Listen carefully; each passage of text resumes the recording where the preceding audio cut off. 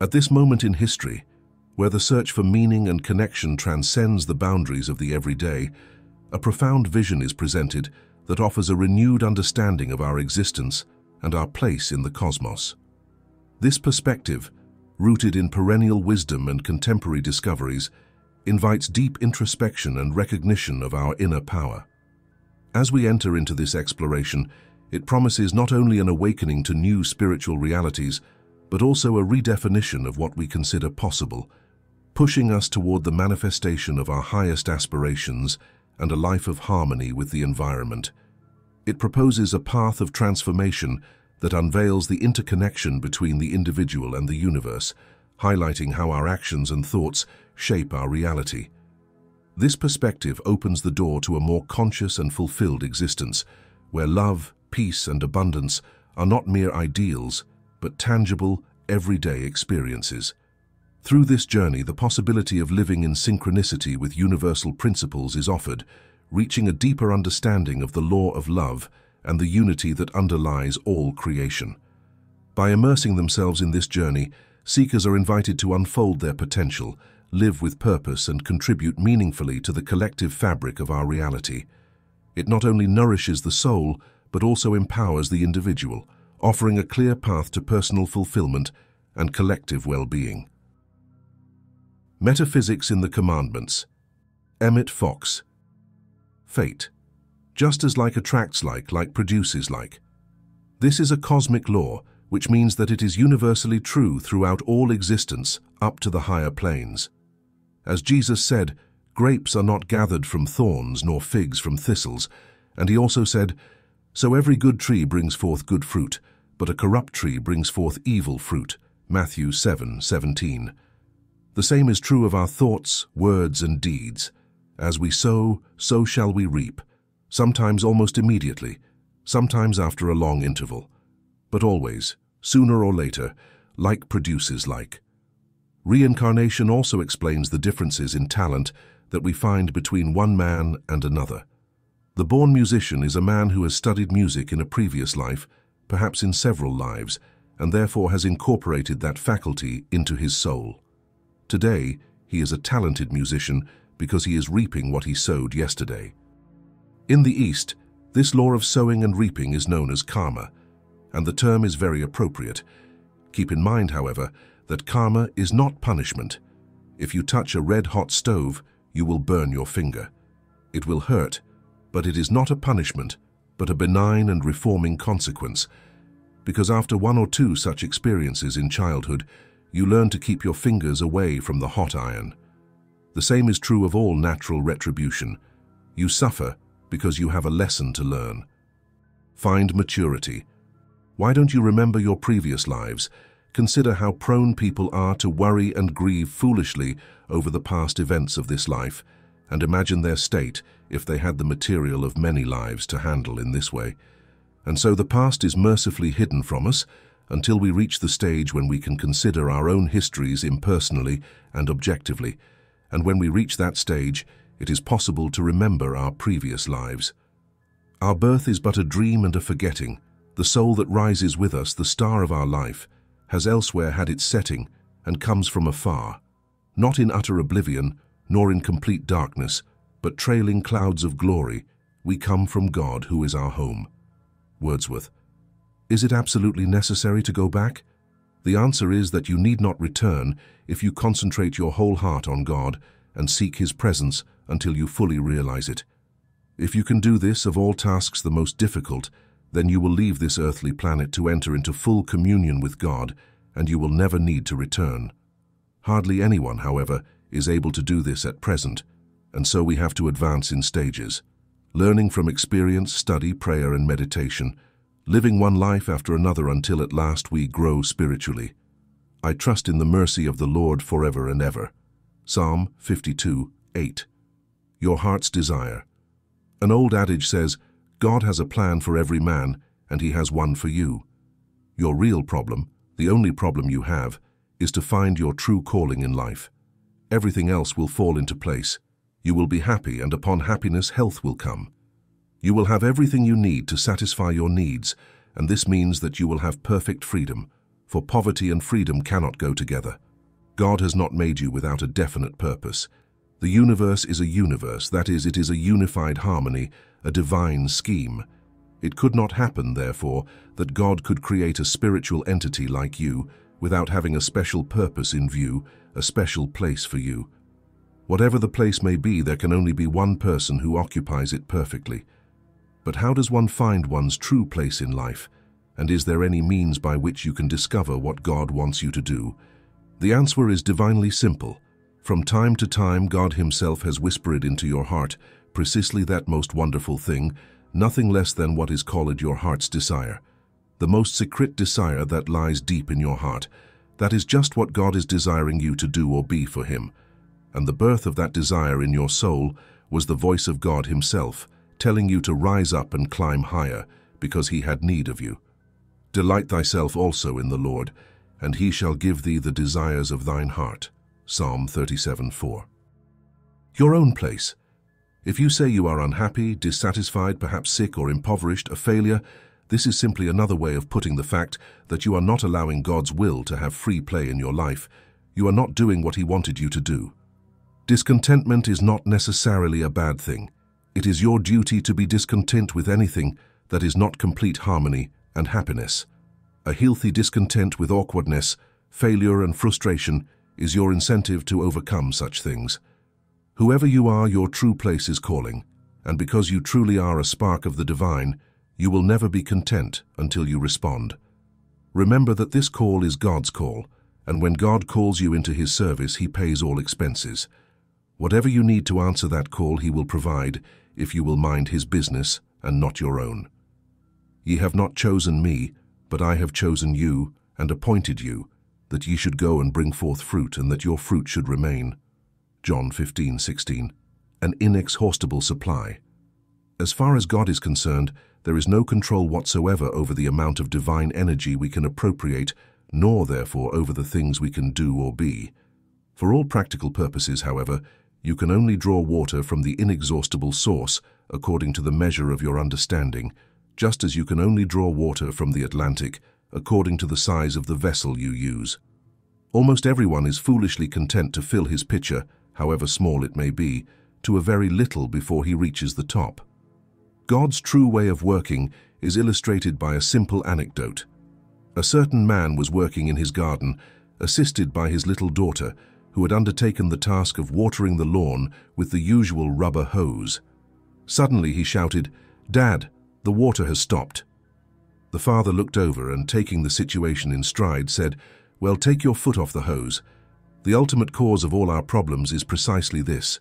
Behind all the secondary and proximate causes is the same primary error. We have been pressing our feet and the whole weight of our mentality on the pipe of life, and then we complain because the water does not flow. And the Lord shall guide thee continually, and satisfy thy soul in drought, and thou shalt be as a watered garden, and as a spring of water whose waters fail not. Isaiah 58, 11. Self-analysis. Jesus has told us that we always demonstrate our conscience. We always demonstrate what we habitually have in our mind. What kind of mind do you have? Don't let anyone tell you, because they don't know. People who like you will think your mentality is better than it is. Those who don't like you will think it is worse. Just examine your conditions and see what you are demonstrating. This method is scientific and infallible.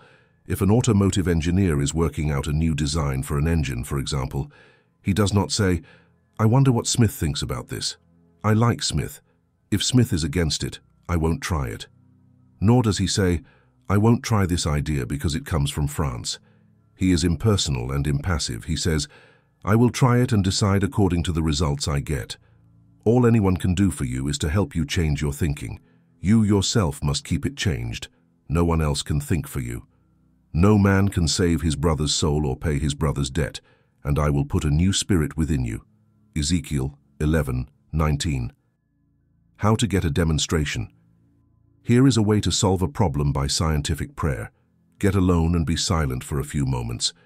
Do not strive to think correctly or to find the right thought, but simply remain silent. Remind yourself that the Bible says, Be still and know that I am God. Then start thinking about God. Remind yourself of some of the things you know about him, that he is present everywhere, that he knows you and loves you and cares about you. Read a few verses from the Bible or a paragraph from any spiritual book that will help you. During this state, it is important that you do not think about your problem, but pay attention to God. In other words, do not try to solve your problem directly, which would be using willpower, but rather be interested in thinking about the nature of God. Next, claim what you need. Claim it quietly and confidently, as you would ask for something to which you are entitled. Then give thanks for the accomplished fact, as you would if someone gave you a gift.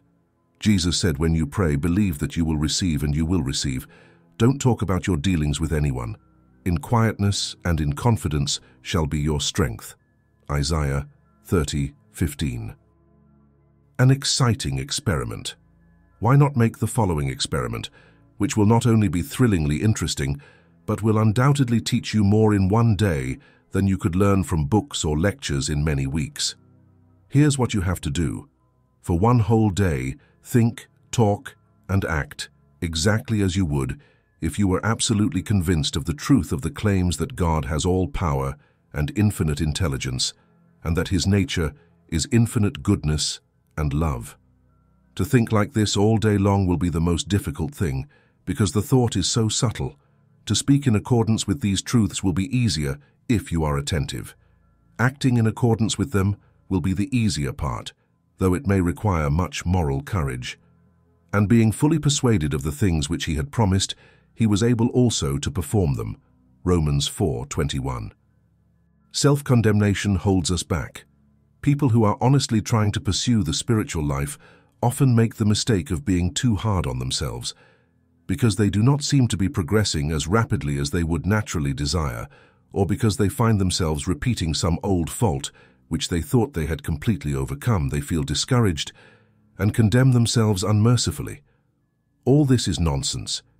If you are doing all you can to use the truth you know, at this moment, you are doing all you have a right to expect of yourself.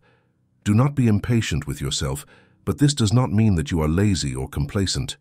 Treat yourself as a wise parent treats a stubborn child, kindly, patiently, but with gentle firmness, not expecting too much too quickly, but foreseeing inevitable growth and improvement. And you are all children of the Most High. Psalm 82, 6. Reciprocal Judgment.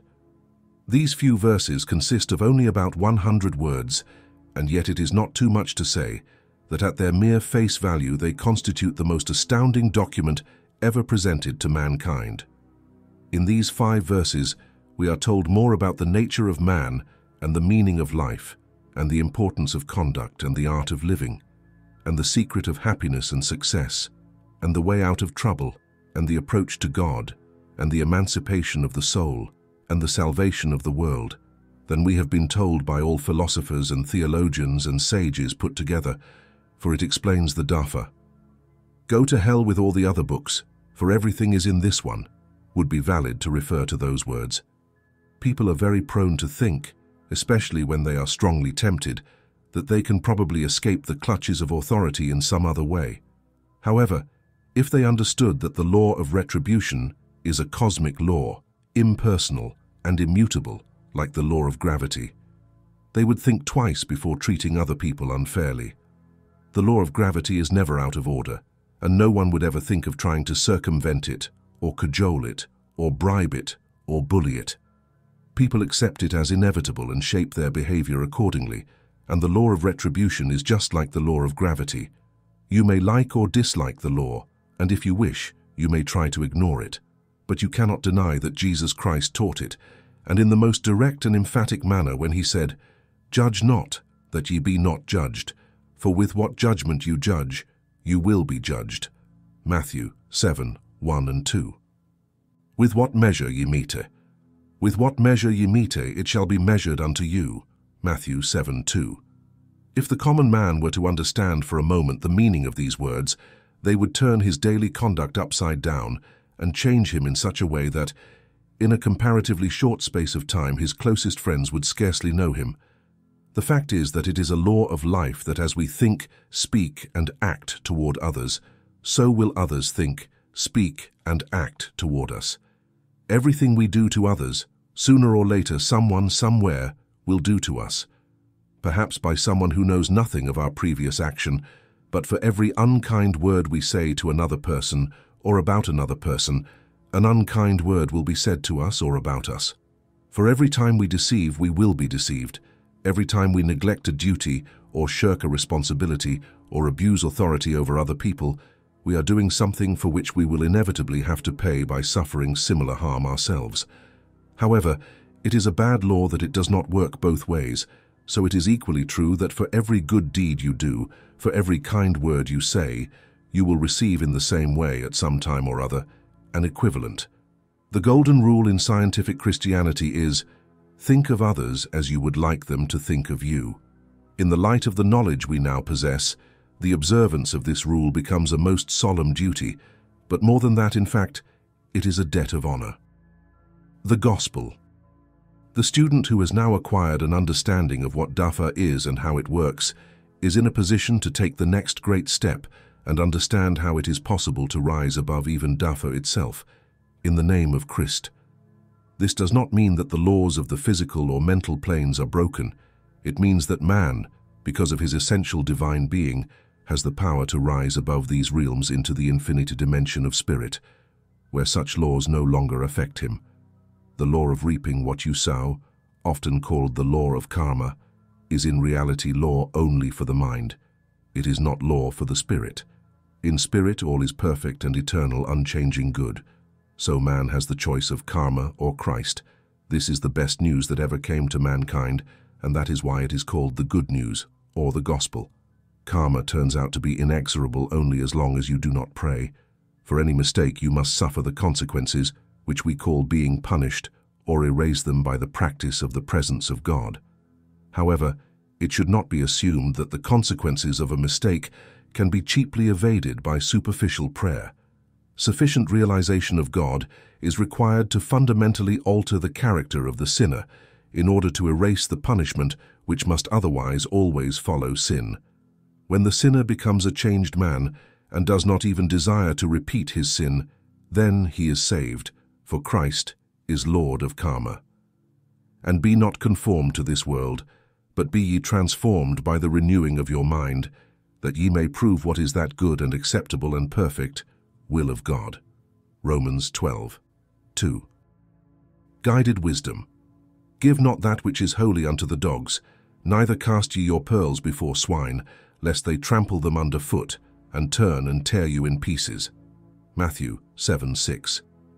Intelligence is as essential a part of the Christian message as is love. God is love, but God is also infinite intelligence, and unless these two qualities are balanced in our lives, we will not gain wisdom, for wisdom is the perfect blend of intelligence and love.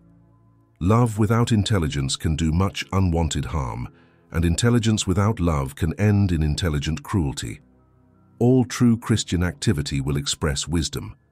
Never trust your own judgment to tell who is ready for the truth and who is not, but trust the inspiration of the Holy Spirit to guide you. If you are praying regularly each day for wisdom and new opportunities for service, the right people will be brought to you. Remember that those with whom you associate closely will have their personal conduct under constant inspection. The quickest way to spread the truth is to live the life yourself. Then people will notice the change in you and will come of their own free will, begging to share your secret. Children of the Most High. This is the wonderful passage in which Jesus enunciates the primary truth of the fatherhood of God. He says here, definitely and clearly, that the true relationship of God and man is that of father and son. It is extremely difficult to realize the momentous importance of this statement for the life of the soul. It is axiomatic, of course, that the offspring must be of the same nature and species as the parent. And so if God and man are really father and son, man must also be essentially divine and susceptible of infinite development by the ascending path of divinity. That is, as man's true nature develops, he will expand in spiritual consciousness until he has transcended all limits of human imagination, it is in reference to our glorious destiny that Jesus himself says elsewhere, quoting the most ancient scriptures, Jesus answered them, Is it not written in your law, I said, Ye are gods? if he called them gods to whom the word of God came, and the scripture cannot be broken. John 10, 34 and 35. Coming of age. For if ye then, being evil, know how to give good things unto your children, how much more shall your Father which is in heaven give good things to them that ask him? Matthew 7, 11. We are children of God, and if children, then also children and co-heirs with Jesus Christ, as Paul says. At present we are full of limitations and incapacities, because spiritually we are nothing more than children. Children are irresponsible, they lack wisdom and experience, and we must keep them under control, so that their mistakes do not have serious consequences. That the heir, while he is a child, differeth nothing from a servant, though he be lord of all, but is under tutors and governors.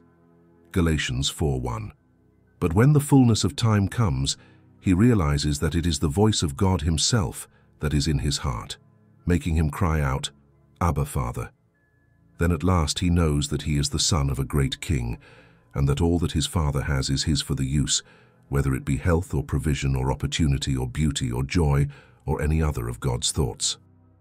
Unlimited generosity. The most mischievous thing in life is man's reluctance to perceive his own dominion.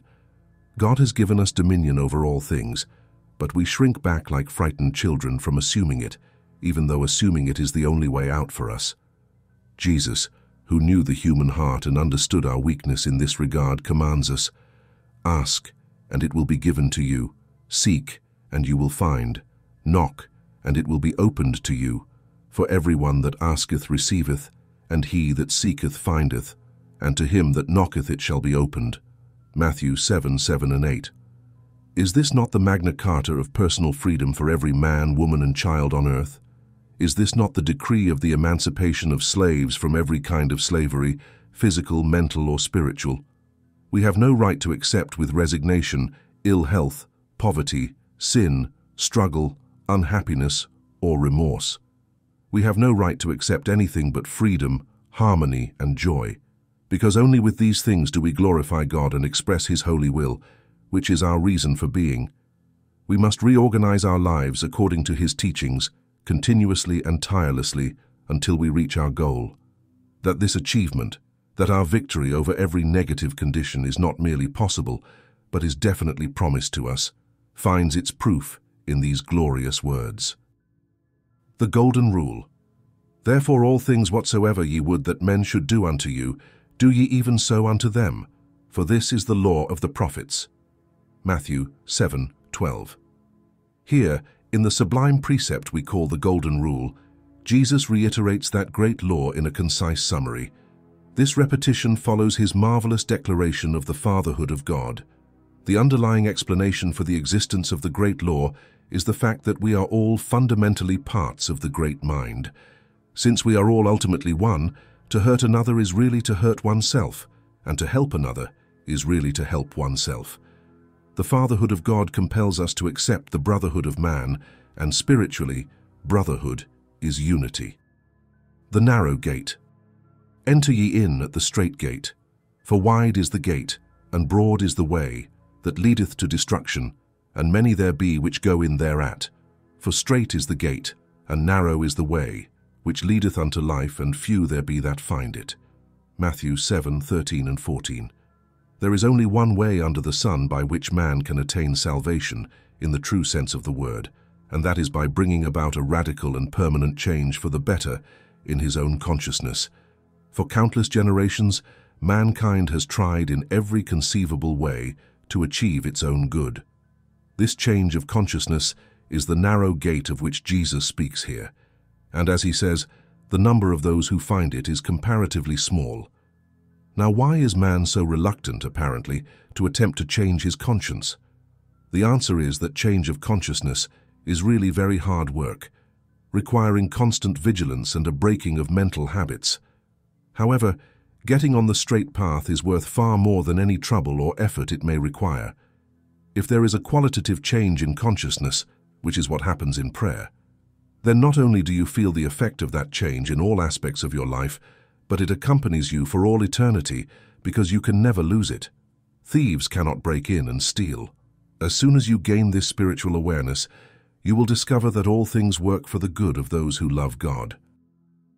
The gracious will of God. A tragic mistake often made is to suppose that the will of God is bound to be something very dull and unattractive, if not positively unpleasant. Consciously or not, some people regard God as a harsh taskmaster or a stern parent. Too often their prayers are reduced to something like this, Please God, grant me such and such a blessing, which I so badly need, but I suppose you won't, because you won't think it's good for me. Needless to say, such a prayer is answered as all prayers are answered, according to the faith of the subject. That is, the blessing is not granted. The truth is that God's will for us always means a greater freedom, a greater personal expression, a newer and brighter experience, a broader opportunity to serve others, a more abundant life.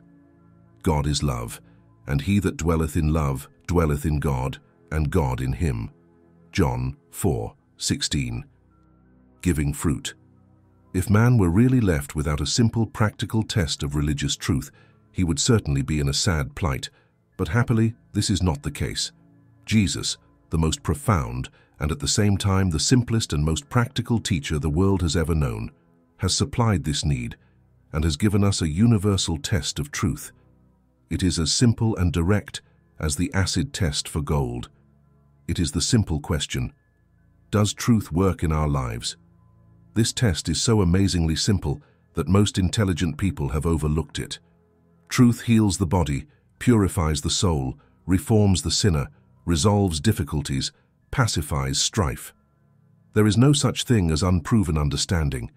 If you want to know how you are spiritually, look around you beginning with the body. There can be nothing in the soul that is not sooner or later demonstrated outwardly, and there can be nothing outwardly that does not find some correspondence inwardly. By their fruits ye shall know them. Matthew 7:20. Unceasing vigilance. We are all willing to do God's will at times and in some things, but until there is complete dedication of our whole being, there can be no complete demonstration. There is no home for the soul in which dwells the shadow of a falsehood, said George Meredith. Never is it truer than in the life of the soul that the price of freedom is eternal vigilance.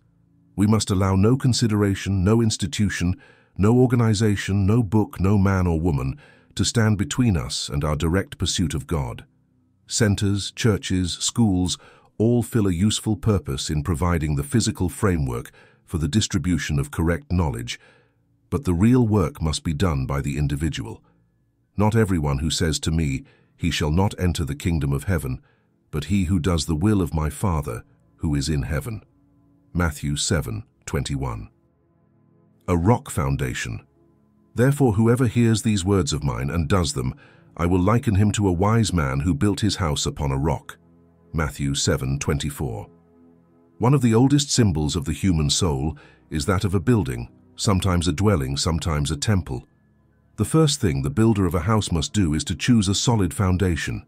In the shifting sands of the desert, it is impossible to build anything. So when the desert dweller sets out to erect a permanent structure, he looks for a rock. Rock is one of the biblical terms for Christ, and the implication is very obvious. Christ is the only foundation upon which we can safely build the temple of the regenerated soul. As long as we depend on anything less than that rock on willpower, on so-called material security, on the goodwill of others, or on our own personal resources, we are building on sand, and great will be our fall. Final authority. And it came to pass that when Jesus finished these words, the people were astonished at his doctrine, for he taught them as one having authority, and not as the scribes. Matthew 7, 28 and 29. It is always like this. The message of Jesus Christ is totally revolutionary because it directs our gaze from the outside to the inside and from man and his works to God. He taught as one who has authority. The greatest glory of the spiritual foundation is that you begin to know. When you have obtained the smallest demonstration through prayer, you have experienced something that never leaves you. You have the testimony of truth within you, and this is the only authority worth having. Worship means victory, Give unto the Lord the glory due unto his name. Worship the Lord in the beauty of holiness. Psalm 29, 2. God is greater than any problem. God in you is greater than any difficulty you have to face. God cares for you more than any human being can realize. God can help you in proportion to the degree to which you worship Him. You worship God by actually putting your trust in Him rather than in external conditions or fear or depression or apparent dangers and so on. You worship God by acknowledging His presence everywhere, in all the people and conditions you encounter, and by praying regularly. You pray well when you pray with joy. Glory ye in His holy name. Let the heart of them rejoice that seek the Lord. Psalm 105, 3. Taking material steps. When you set out to solve a problem by prayer, you must also take all the normal steps. Don't just pray and then sit back and wait for something dramatic to happen. For example, if you are praying for a job, you should pray for it as well as you know how every day, and then go out and visit agencies or prospective employers, write applications or insert ads in appropriate periodicals. If you desire a cure, deal with it as you think best, and in addition, take such material steps as you see fit. If your business is not thriving, give yourself a checkup to find out if you are managing it effectively. If you find weaknesses, as you almost certainly will, you should correct them immediately. Certainly we cannot pretend to keep breaking the laws of the plane on which we live and expect prayer to compensate for this folly. Whatsoever thy hand findeth to do, do it with thy might. Ecclesiastes 9:10. The mental equivalent. There is one thing that means more to us than all other things in the world, and that is our search for God and the understanding of His nature. Our goal is to learn the practice of the presence of God. We practice the presence of God by seeing Him everywhere, in all things and in all people. Some years ago, I coined the phrase mental equivalent. For whatever you desire in your life, a healthy body, a fulfilling vocation, friends, opportunities, and above all an understanding of God. You must provide a mental equivalent. Provide yourself a mental equivalent, and the thing will come to you. This expression, mental equivalent, is taken from physics and chemistry. We talk about the mechanical equivalent of heat, and engineers have to constantly calculate the equivalent of one kind of energy in another kind of energy. They have to figure out how much coal it takes to produce that much electricity and so on. Similarly, there is a mental equivalent of every object or event on the physical plane. The secret of success in life is to build the mental equivalent you want, and to get rid of the mental equivalent you don't want. I will meditate on thy precepts and I will respect thy ways. Psalm 119:15. Clarity and interest. The key to life is to build the mental equivalence of what you want and eliminate the equivalence of what you don't want. Mental equivalents are built by thinking with clarity or definition and interest. Remember that clarity and interest are the two poles. If you want to be healthy, happy, prosperous, do constructive work, have a continuous understanding of God, you think, feel, and are interested in these ends. What we call feeling in relation to thinking is really interest. 99 times out of 100, the reason Christians fail to manifest is that they lack feeling in their desires or prayers. How are you going to eliminate wrong mental equivalents? Suppose you have a mental equivalent of resentment or unemployment or criticism or not understanding God. The only way to eliminate an erroneous mental equivalent is to provide it with the opposite. Right thinking automatically expunges wrong thinking. If you say, I'm not going to think about resentment anymore, what are you thinking about except resentment? The key to managing your thinking, and therefore the key to managing your destiny, is to replace a negative thought with an affirmative thought. The Lord will perfect that which troubles me. Psalm 138, 8. ECU do it. What you concentrate on you bring into your life. Many people fail to concentrate successfully because they think that concentration means willpower. They assume that the harder they try, the faster they succeed. But this is a mistake. Think of the photographic process. The secret to a sharp image lies in focus. Focus your camera lens steadily for as long as it takes. Suppose I want to photograph a vase of flowers. I place them in front of the camera and hold them there.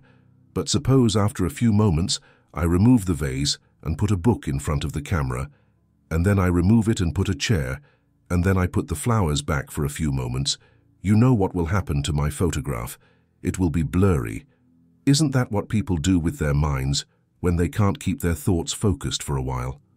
They think about health for a few minutes, and then they think about illness or fear. They think prosperity, and then depression. Is it any wonder that man is so prone to demonstrate the spoiled image? It is always good to make a practical experiment, so I advise you to take just one problem in your life and simply change your thinking regarding your problem and keep it changed for a month, and you will be amazed at the results. If you really keep your thinking changed, you won't have to wait a month to get results. He who endures to the end, the same shall be saved. Matthew 24, 13. Keeping the new equivalent. There is an instructive legend from the Middle Ages. It seems that a certain citizen was arrested by one of the barons and locked in a dungeon by a fierce-looking jailer who carried a large key. The door of his cell was closed with a sharp blow. He remained in the dark dungeon for 20 years. Every day the great door was opened with a great creaking sound, water and bread were brought in, and then locked again. At the end of 20 years, the prisoner decided that he wanted to die. But he did not want to commit suicide, so the next day when the jailer arrived, he would attack him, and the jailer would kill him. To prepare himself, he thought he should examine the door, so he turned the handle and to his surprise the door opened. He checked that there was no lock. He groped his way down the hallway and up the stairs. At the bottom of the stairs, two soldiers were chatting with him and did not try to stop him. He crossed the large courtyard. There was an armed guard on the drawbridge, but he paid no attention to him and went out as a free man. He returned home unmolested. He had been a captive, not of stone and iron, but of false beliefs. He had thought only that he was locked up. Bring my soul out of prison, that I may praise thy name. The righteous shall compass me about, for thou wilt be bountiful unto me. Psalm 142, 7. What Moses means today. Moses was a man of extraordinary understanding of God and man. He was also one of the great historical leaders of the human race. He was born in Egypt, which at that time was the most civilized country in the world. But at that time, the authorities gave orders to kill the male children of the Israelites, and Moses' mother tried to save his life by putting him in a small basket and hiding him on the bank of the river, where Pharaoh's daughter could not avoid seeing him when she approached the river to bathe. Moses' sister was told to hide among the tall reeds to guard the baby. The king's daughter saw this little basket, opened it, and when the child cried, her heart was moved. She looked around and out came the sister, and you know the rest of the story, how the sister was sent for a woman to take care of the child, and she brought Moses' own mother. Now there is a remarkable text here. Pharaoh's daughter says to the woman, Take this child and take care of him for me, and I will give you your wages. Exodus 2, 9. In the biblical sense, you are the king's daughters as soon as you attain truth. The child Moses is that higher teaching that brings out your heart. Now then, how do we nourish our Moses child? By prayer and meditation. Otherwise, the child will starve. However, if we take the child and nurse it, we will get our wages, and our wages will be freedom, peace of mind, harmony, understanding, and the communion of God himself. The Ten Commandments. And God heard their groanings, and God remembered his covenant and kept them. Exodus 2, 24 and 25.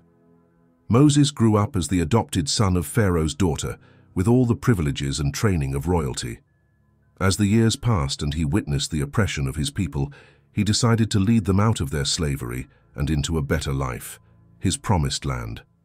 We are told their cry went up to God, Exodus 2, 24 and God himself led them safely through their wilderness.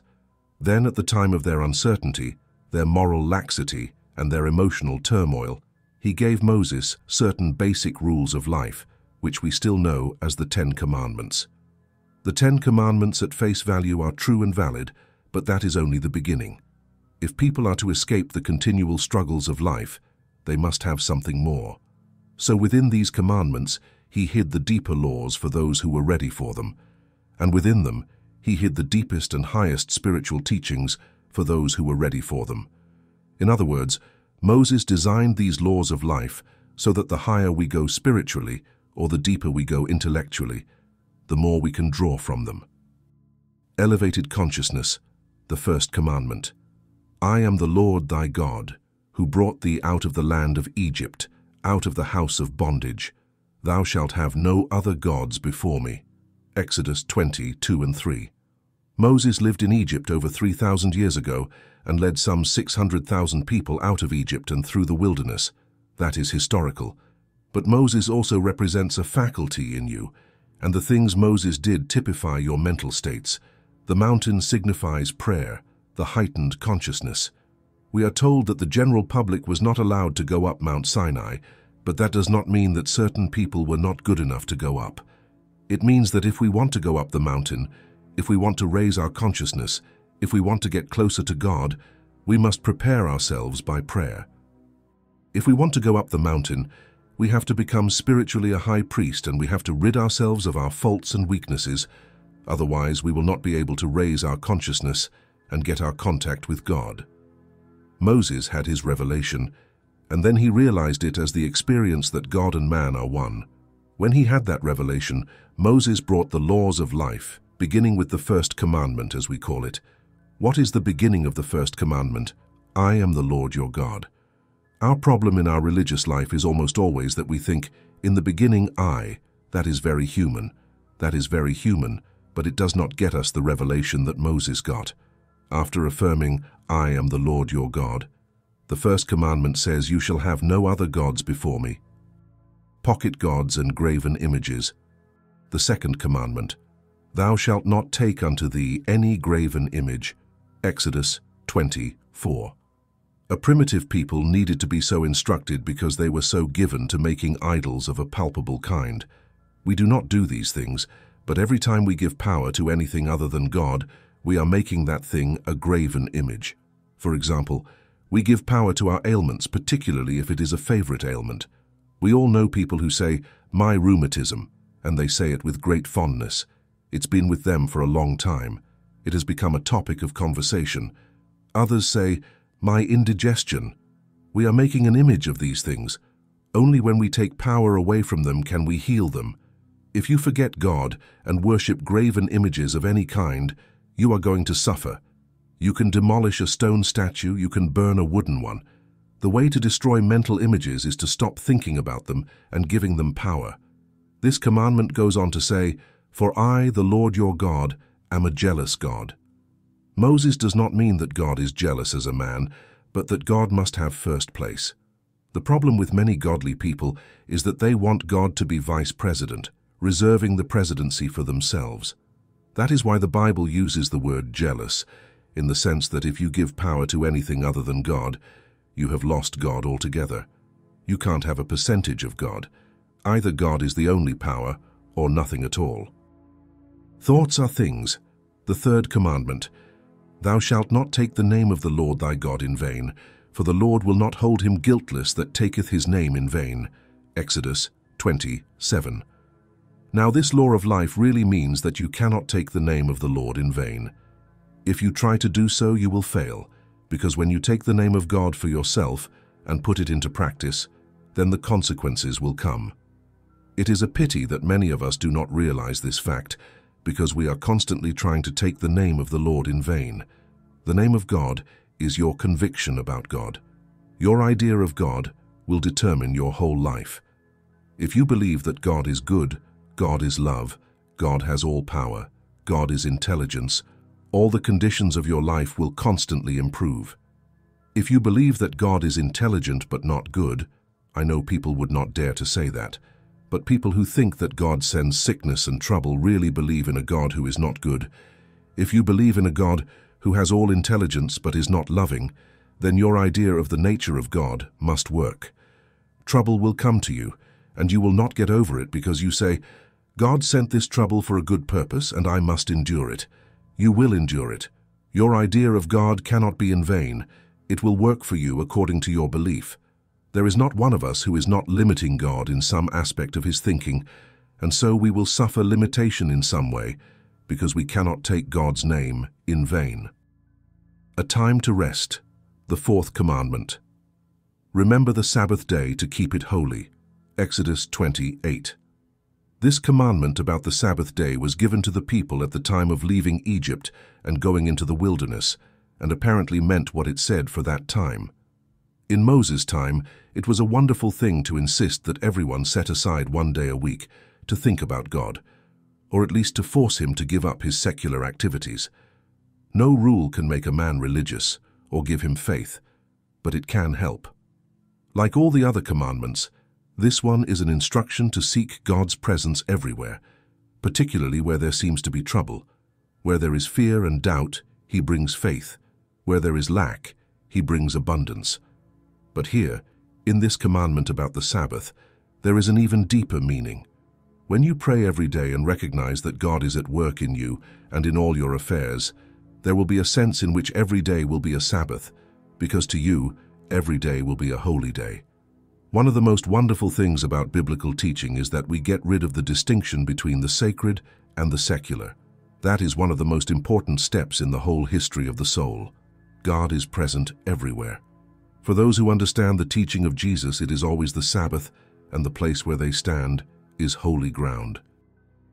Polarity, the fifth commandment. Honor thy father and thy mother, that thy days may be long upon the land which the Lord thy God giveth thee. Exodus 20, 12.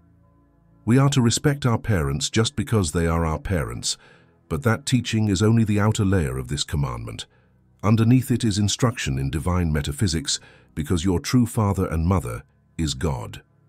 When this commandment says, honor your father and mother, it introduces the two poles, male and female, and of course polarity is the driving force of the universe.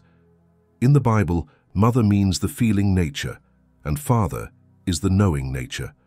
Most people have one side or the other more developed. When our prayers fail and we do not manifest, we fail because we are not honoring our father and mother. Express who you are.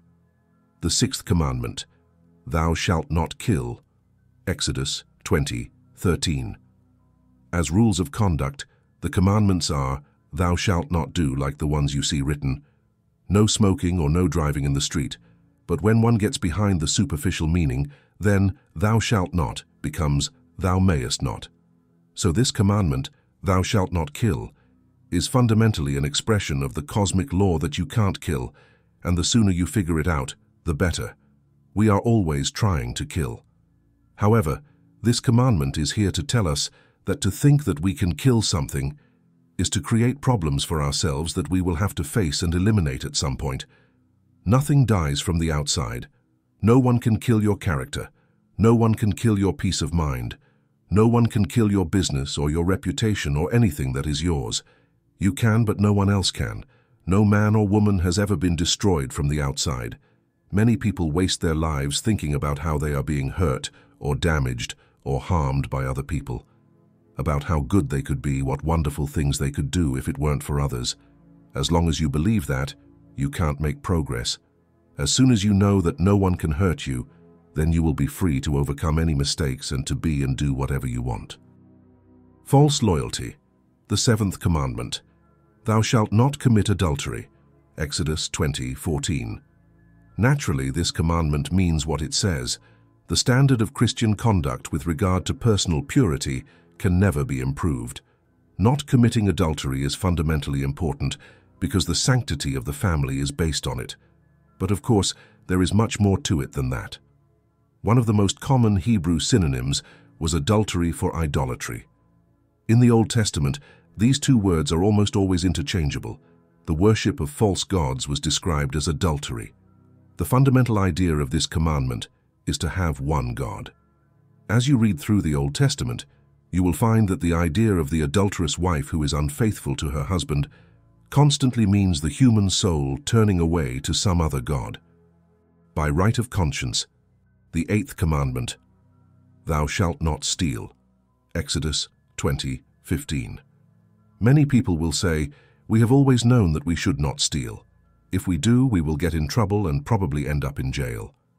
Throughout the ages, only a small percentage of human beings have stolen. Respect for the property of others was learned very early in the history of civilization.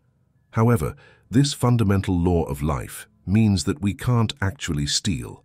Let's say you know someone who broke into your house and took your money. The thief who took your money actually transferred some money from your house to someone else's house, but did he get away with it? If that money belonged to you by right of conscience, All the thieves in the world couldn't have taken it. In fact, if you had this understanding, you could take a $10 bill, put it on the sidewalk in Times Square, and come back the next day, and it would still be there. Your awareness of God's presence in other people would have been so strong that no one could have taken from you what belonged to you by right of that awareness. These ten laws of life are things that cannot be done, and so, says the great prophet in effect, don't waste your life trying to do these things. They cannot be done, they conflict with the fundamental law of being. When we stop trying to steal, we will begin to have our own. We will have our own rights, and when we get that, liberation will not be far behind. The true witness, the ninth commandment. Thou shalt not bear false witness against thy neighbor. Exodus 20, 16. First of all, the obvious meaning is very important, although it is only the principle. Do not tell lies about people. We have to apply this principle of not bearing false witness throughout our whole life. It is very important to practice it because what you say about another person will happen to yourself. If you lie about another person, it's a nasty word, but I use it because it's the right word, someone will lie about you. Jesus says it in the seventh chapter of Matthew, verses 1 and 2, Judge not, that you be not judged. For with what judgment ye judge, ye shall be judged. And with what measure ye meet, it shall be measured to you. However, the fundamental meaning of this commandment, thou shalt not bear false witness, is that you always express what you are. You cannot be one thing and express another. Emerson says, What you are screams so loudly that I cannot hear what you say. We are always bearing witness to what we are. So, again, thou shalt not really means thou canst not. You cannot permanently bear false witness. True testimony is the full expression of the man of God. You will be bearing true witness to your neighbor when you are regenerated in soul. What does regeneration mean? It means building a new soul, not correcting the old one. When you change the soul, automatically the flesh changes, the skin changes, the blood vessels and nerves and bones change. But regeneration must begin with a change in the soul, not with anything in the outside world. When we really know these things, we will be bearing true witness. God's abundance for your need, the tenth commandment. Thou shalt not covet anything that is thy neighbor's, Exodus 20, 17. There are several phrases concerning covetousness. Thou shalt not covet thy neighbor's house, nor his wife, nor his manservant, nor his maidservant, nor his cattle, nor anything that is his. Much of the evil in the world is caused by desiring something to which one has no right. Moses knew what coveting does to us in what we today call the unconscious or the subconscious. Coveting affects the soul of man, even if your greed never leads you to take something that does not belong to you, it undermines and ultimately rots your soul. It takes you away from God. Why? Because to covet something means that you do not understand the law of being. You don't understand that everything you receive or lack is the representation and expression of your consciousness. Until you understand that you cannot be saved, there is nothing in the world that you have conceived that God does not have in abundance. God's supply is infinite, and to envy another because he seems to have more is to deny your own contact with God. I am that I am. And there was thunder and lightning and a thick cloud.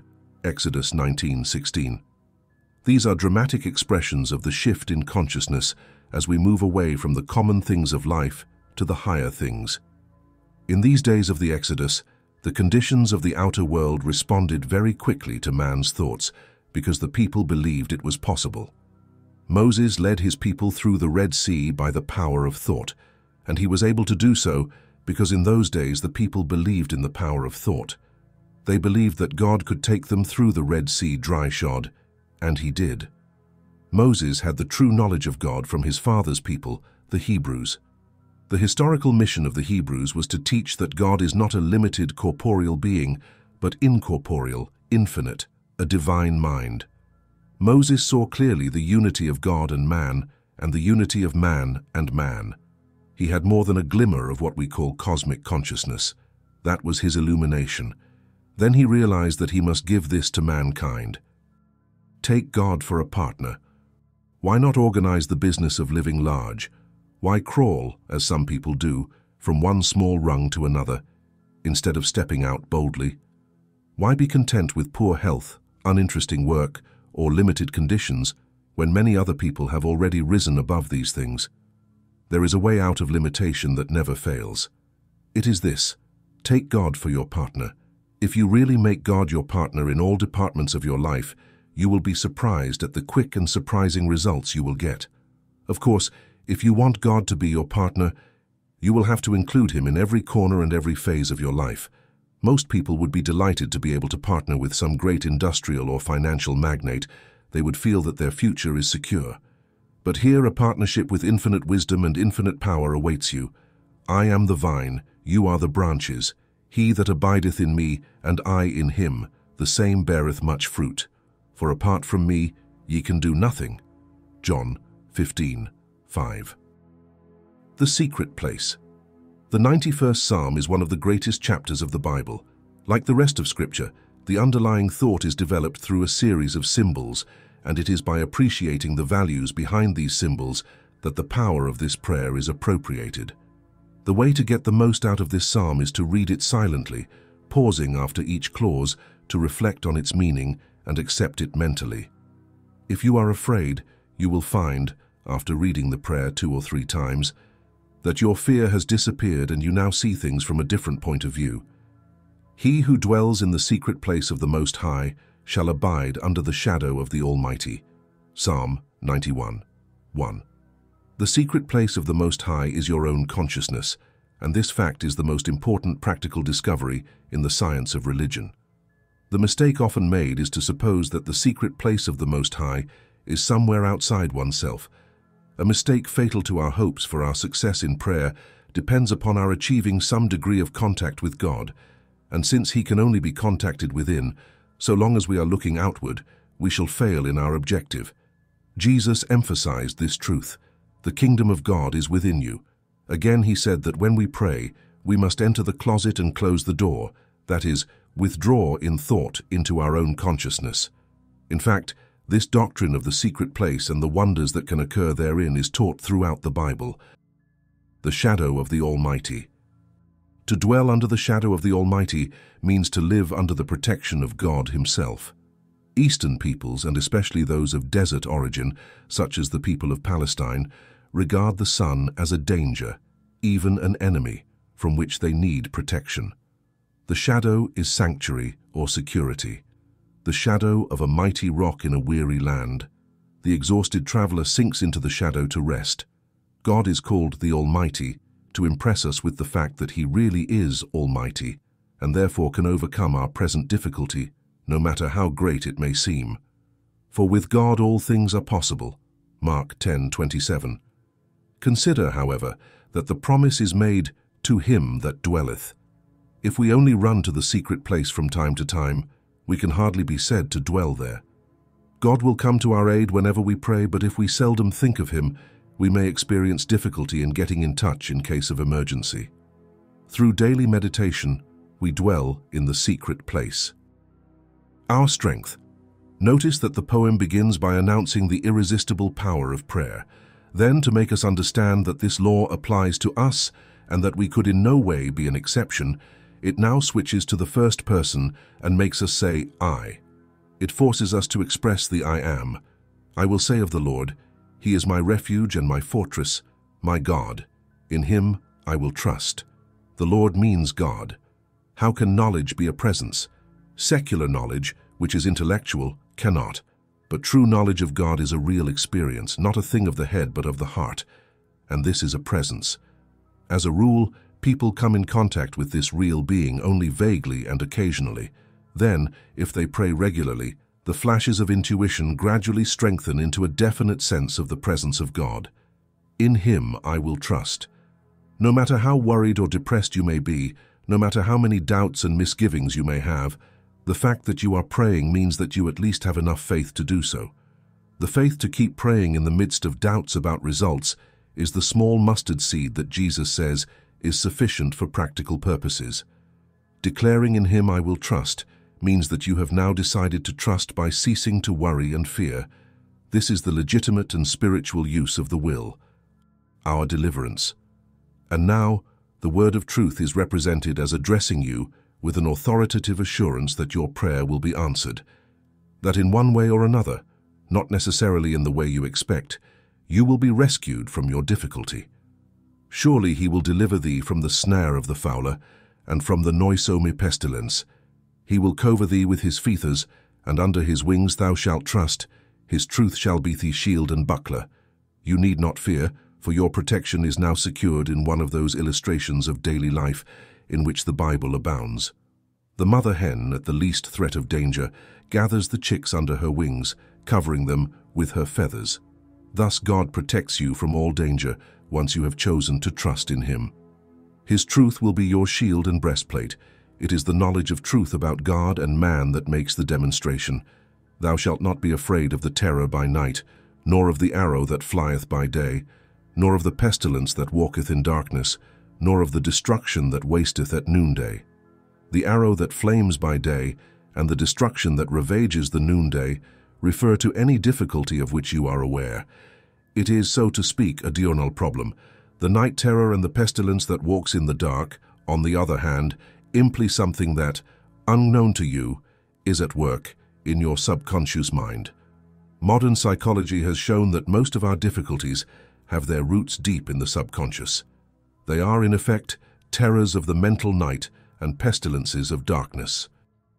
Our promise, a thousand shall fall at thy side and ten thousand at thy right hand, but they shall not come near thee. Only with thine eyes shalt thou behold and see the reward of the wicked. This clause has been taken to indicate some kind of favoritism on God's part, whereas of course such a thing is impossible. It simply means that those who pray are saved from troubles which would otherwise overtake them, and which, in fact, overtake those who do not pray. For thou hast made the Lord my refuge, the Most High thy dwelling place, no evil shall befall thee, neither shall any plague come nigh thy dwelling place. In the Bible, the word promise is the name given to a statement of some spiritual law. Thus, a biblical promise is a statement of the consequences that naturally follow from certain states of consciousness. If Boyle's law were written in biblical language, it would read something like this. As I live, saith the Lord, whenever you double the pressure of a gas, you will halve its volume the temperature remaining constant. In the language of natural science, our biblical promise would read, By meditating regularly on the presence of God with you and directing your life in accordance with that fact, you become immune to every kind of danger. Triumph over danger. Thou shalt tread down the lion and the viper, the lion's whelp and the dragon thou shalt trample under foot. Here the lion represents a difficulty of which we are so afraid that it seems to us like a lion itself in our path, pouncing upon us in the open field.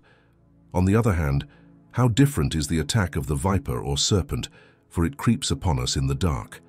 And here we are promised that our complexes, however dragonish they may be, will be dissolved by the realization of God. There is nothing that can be done by any form of psychotherapy that cannot be done better by the practice of the presence of God. The last three verses are in themselves a glorious psalm of resounding joy and triumph. Because he hath set his love upon me, therefore will I deliver him. There is nothing hypothetical or contingent here. The statement indicates the fixed decision, I will deliver him. And why? Because he has set his love in me.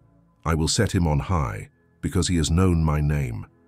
In the Bible, the name of anything signifies the nature or character of that thing. Now the nature of God is perfect, omnipresent, all-powerful, good, boundless love. And to know, this is to be set on high above all our difficulties. The last two lines take up all the implications and promises of this wonderful poem and present them to the fearful or doubting heart as a song of triumph. He shall call upon me, and I will answer him. I will be with him in trouble. I will deliver him and honor him. With long life I will satisfy him and show him my salvation. Bluebeard draws the line. We progress spiritually by putting God in every corner of our lives. Most people on the spiritual path are willing to give God a generous portion of their lives, but often there is a little corner where they do not want the divine light to shine. Bluebeard, as you will recall, kept the house open with the exception of one small room, and there he drew the line.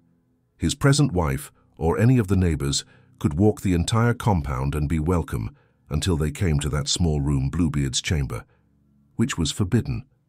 However, that small locked room contained the tragedy of the house. The contents of Bluebeard's room need not be anything we usually call horrible. It may simply be selfishness, laziness, spiritual pride, or any of the more respectable but very deadly sins. There may be an old grudge or bitter remorse. Open all the doors of your soul to God. Have no place where the light of his presence does not shine. The secret things belong to the Lord our God. Deuteronomy 29, 29. God says now. God's time for your manifestation is now. God's time for you to be healed is now. The time God wants you to be in your true place is now. The Bible says the day of salvation is now. God is ready the moment you are ready. There is nothing to wait for except the change of your own consciousness. People often make the mistake of saying, I know my manifestation will come at the right time. But the only time to be harmonious and satisfied is now. The time to be happy is now, and the place is here. Didn't Jesus say, the kingdom of heaven is near, and by this he meant near? Do not keep yourself out of the kingdom of heaven by inventing postponements, but change your consciousness now, for everything can happen in a moment. That it is high time to awake out of sleep. For now is our salvation nearer than when we believed. Romans 13:11. You are always trying. You are continually dealing with your conditions with the thoughts you have about them. What you actually think about anything is you're dealing with that thing. Many people have the idea that they are only treating when they call it treatment, but no matter what you call it, your thinking regarding any subject is treatment. This is why visible conditions are always the expression of an invisible thought. If you systematically begin to treat every aspect of your life with a series of positive and correct thoughts, and stick to this practice for even a few weeks, you will be surprised to discover how much everything will change for the better. Be transformed by the renewing of your mind. Romans 12, 2. Your invisible dictaphone. Your destiny depends entirely on your own mental conduct.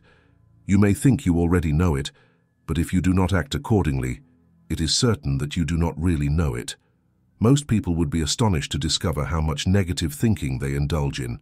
The thinking is so quick and the habit so strong that unless you are very careful, you will constantly transgress. Suppose that first thing tomorrow morning, without our noticing it, we were to put an invisible dictaphone on our shoulders and carry it about with us all day until late tomorrow night. Suppose then that this recording were played back to you, so that all the words you have uttered during a whole day were repeated to you. If you were an ordinary human being, you would probably feel embarrassed. However, it really happens that everything we say, think and do is recorded in the subconscious mind, and our daily experience is nothing more than that recording played back by the law of being. Never forget that the circumstances of your life tomorrow are shaped by your mental conduct today. I have chosen the way of truth. Psalm 119.30 Falter your life there is no need to be unhappy. There is no need to be disappointed or oppressed or wronged. There is no need for sickness or failure or discouragement. There is no need for anything but abundant interest and joy in life. So long as you accept a negative condition at its own valuation, so long will you remain enslaved to it. But you have only to assert your birthright as a free man or woman, and you will be free. Success and happiness are the natural conditions of humanity. In fact, it is easier to demonstrate these things than the reverse. Bad habits of thought and action may obscure this fact for a time, just as a wrong way of walking or sitting, or of holding a pen or a musical instrument, may seem easier than the right way because we have become accustomed to it. But the right way is nevertheless the easiest. Unhappiness, frustration, poverty, loneliness are really bad habits which their victims have become accustomed to endure, believing that there is no way out, whereas there is a way, and that way is simply to acquire good habits of working with the law instead of against it.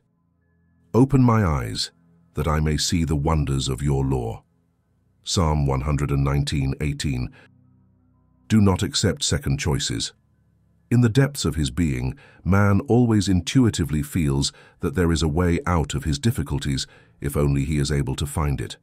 The infant, not yet tainted by the defeatism of his elders, simply refuses to tolerate disharmony on any terms and therefore manifests over it. When he is hungry, he tells the world, while many a sophisticated adult goes without food. Does he find himself with a pin stuck somewhere in his anatomy? It is not for him a sigh of resignation at the supposed will of God, nor a whine about never being lucky, nor a sigh that one must endure what cannot be cured. Your instinct tells you that life and harmony are inseparable. Refuse to tolerate anything that is not harmony. You can have a happy and joyful life, but to do so, you must take the helm of your own destiny and boldly steer toward the harbor you intend. What are you doing with your future? For not the hearers of the law are righteous before God, but the doers of the law shall be justified. Romans 2:13. The Four Horsemen. The Four Horsemen of Revelation give the key to the nature of man as we know him. When you thoroughly understand these symbols, you will understand your own constitution, and you can begin the work of gaining mastery over yourself and your surroundings. The Bible is not written in the style of a modern book. It has its own method of transmitting knowledge through picturesque symbols, the reason being that this is the only possible way in which knowledge can be given to people of all ages, in different parts of the world, and of different degrees of spiritual development. A symbol appeals to any audience. Each individual receives just what he or she is prepared for. The four horsemen of the apocalypse represent the four parts or elements of our human nature. First, there is the physical body, what you see when you look through the glass. Then there is your feeling nature or emotions, and although you cannot see your feelings, you are tremendously aware of them. Third, there is your intellect, which contains all the knowledge you possess. Finally, there is your spiritual nature, your true eternal self, the real you, the I am, the indwelling Christ. This is your true identity, which is eternal. Almost everyone believes in its existence, but most people are very unaware of it as a reality. Eventually the time will come when the first three will merge into the fourth, and then we will all know it instead of believing only that the spiritual nature is everything. And ye shall seek me and find me, when ye shall search for me with all your heart. Jeremiah 29, 13. Three wild horses.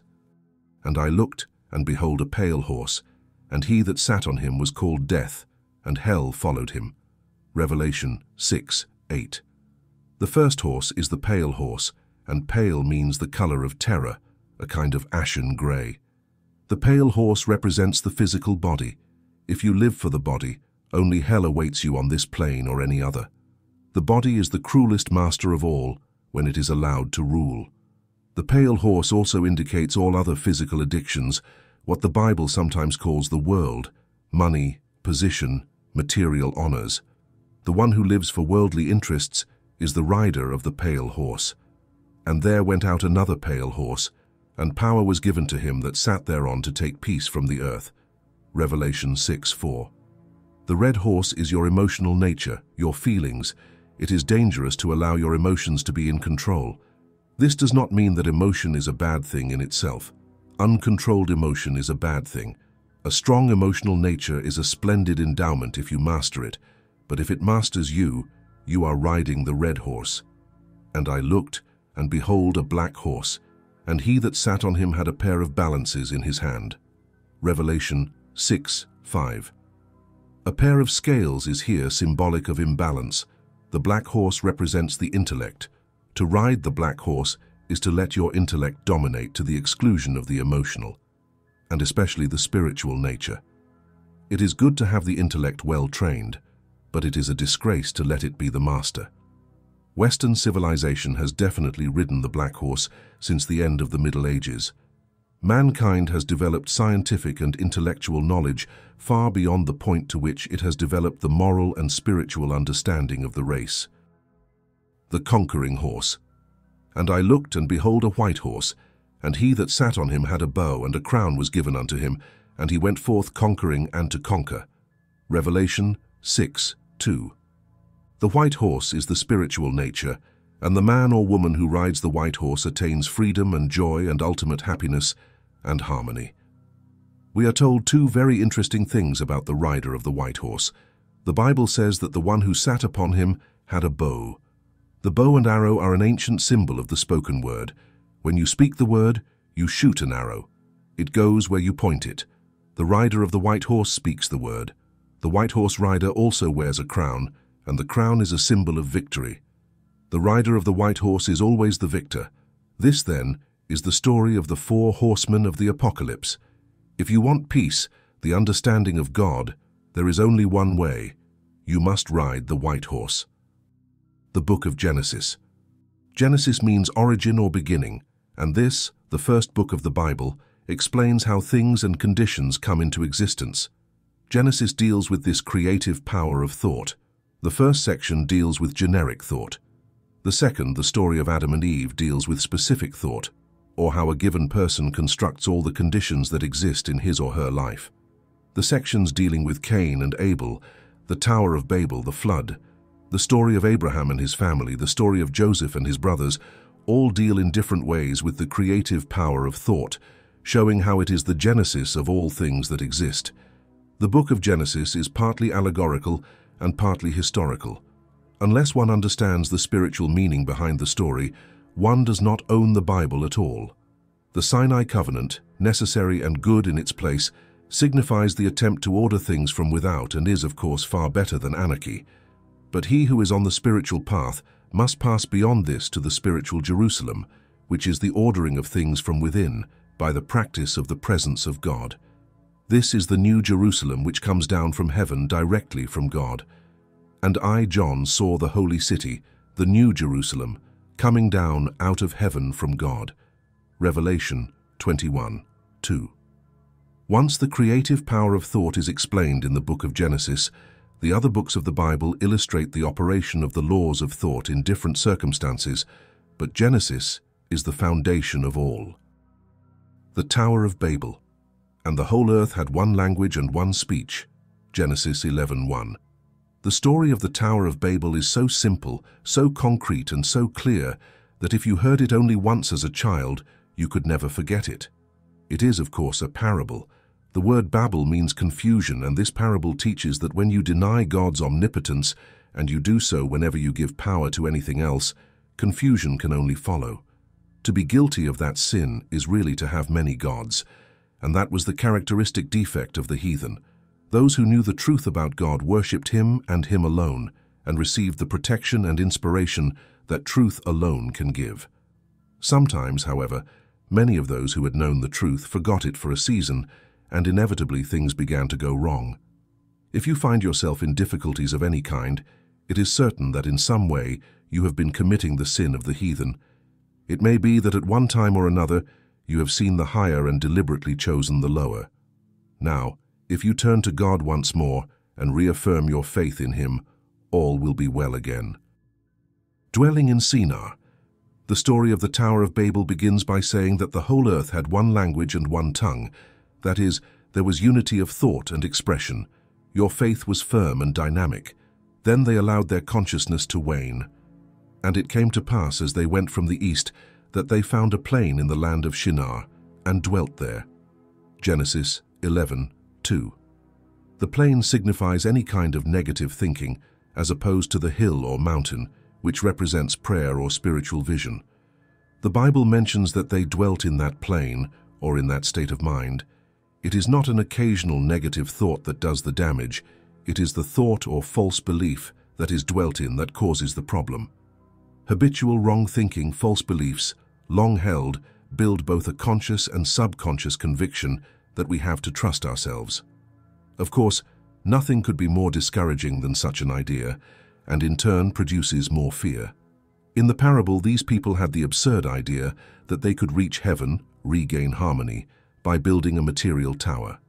This describes that sense of insecurity and apprehension that has always plagued most of humanity because they have not realized the presence and power of God and their essential oneness with Him.